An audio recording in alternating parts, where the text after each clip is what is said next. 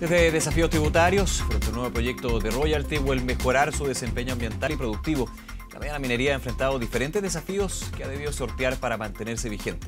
Expertos nos cuentan más detalles en la siguiente. La mediana minería juega un rol importante en la economía del país, pero también es un sector que ha tenido altos y bajos en los últimos años. ¿Cuáles son los principales desafíos que enfrentan en la industria?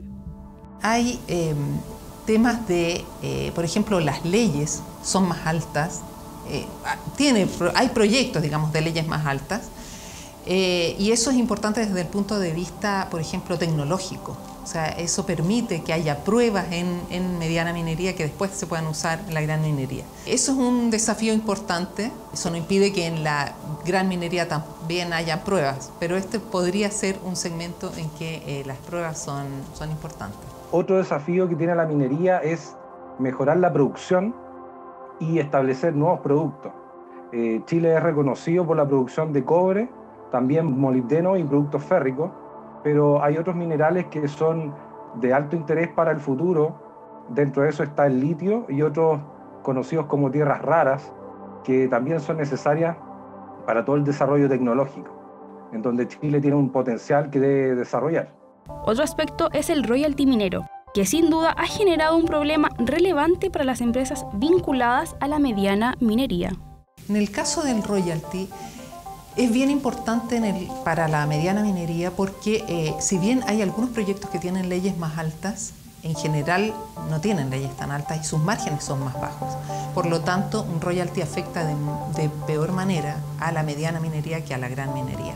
Entonces hay que tener mucho cuidado con cómo, cómo eh, se legisla respecto a ese tema, porque podemos estar afectando a un sector que efectivamente trae mucho eh, eh, es muy importante para el país. Si el año 2020 el royalty hubiera estado, hubiera estado vigente, como salió redactado en la Cámara de Diputados, nuestra empresa hubiera perdido algo así como 7, 8 millones de dólares solamente por el royalty. La incorporación de procesos sustentables e innovaciones tecnológicas han sido claves para generar un avance positivo en el sector.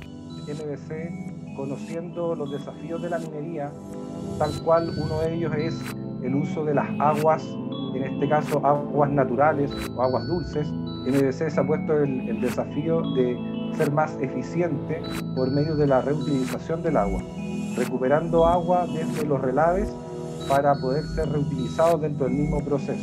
Hemos logrado alcanzar un mínimo de un 80% de consumo de agua reutilizada desde los relaves. La generación de, energía fotovoltaica, digamos, con paneles puestos sobre los tranques de relave es una, una de las innovaciones importantes que ha hecho una empresa también del sector el uso de agua de mar en estado natural, no compitiendo por aguas continentales, digamos, eso también es un, es un gran avance.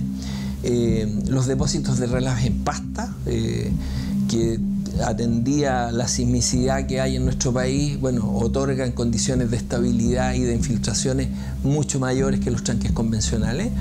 Eh, son algunos de los, de los temas que se han hecho.